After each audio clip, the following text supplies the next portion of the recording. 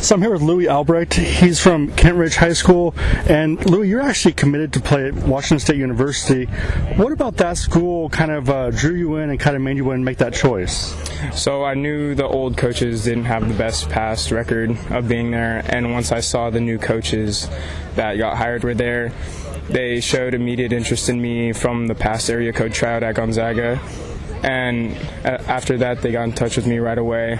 Uh, they introduced themselves, thought they were great people, looked up their past stats over at New Mexico State, and was happy with that. And just th- I just thought they were going to turn the whole program around, so that's why I thought it'd be a great place for me to fit fit in. Know, especially you know Pac-12 school. I mean, there's great competition, especially when it comes to baseball. I mean, really, Pac-12, SEC, those are powerhouse areas. So, you know, what's it like to know that you're going to go up against competition that really is, you know, a lot of players are going to be major league bound as well. Uh, it means a lot to me personally because I was one, one of my goals was to get in the top in one of the top five power conferences. So being in Pac-12 and getting to stay home in Washington is going to be pretty nice. Try to be the hometown kid, even though they're over in the Palouse, but it's going to be fun.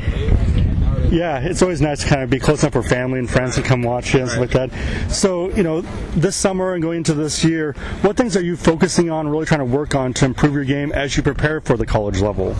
Um, I'm just keeping the same work ethic I've had. I'm I'm going to keep going to the cages, obviously hitting and stuff.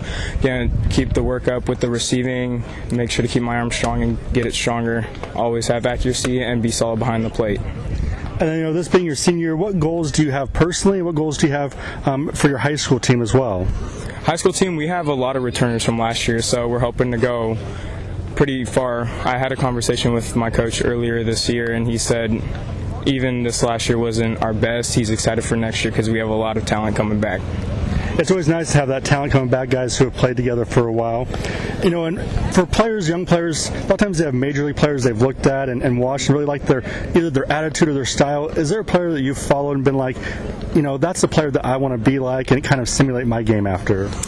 He's a young one, but uh, Will Banfield, who was the number one catcher in the 2018 class and was drafted by the Marlins, I always like looked at him to be like him because the stereotypical catcher build is like shorter, chunkier, or a big just big guy overall. Yeah. He's he's kind of like my body style. He's not too tall, but he's like skinny. He's more muscle and stuff. Mm-hmm. So I'm doing my work to get in the weight room and just staying that being that fit catcher that's very mobile and everything. Yeah, having a mobile catcher is nice. I think a lot of teams are starting to realize right. that. But even seeing a lot of catchers who are base stealers and runners yeah. as well. So that's that's kind of a, a new trend. I, I, I kind of like it personally. So um, you know, also to be able to play at that level, it's not by accident. You have to work hard. You have to ethic but there also be people in your life who are motivating you and encouraging you. Who in your life has been the influence to really uh, make you better and make you the best you can be?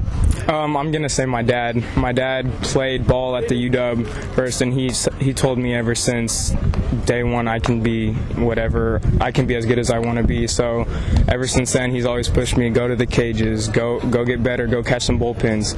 You're you'll be good if you put your work into it. That's good advice. And the last question I have for you, you, know, you always see kids around the ballpark who have the dreams. What advice do you have for those kids who want to play at the college level or even beyond?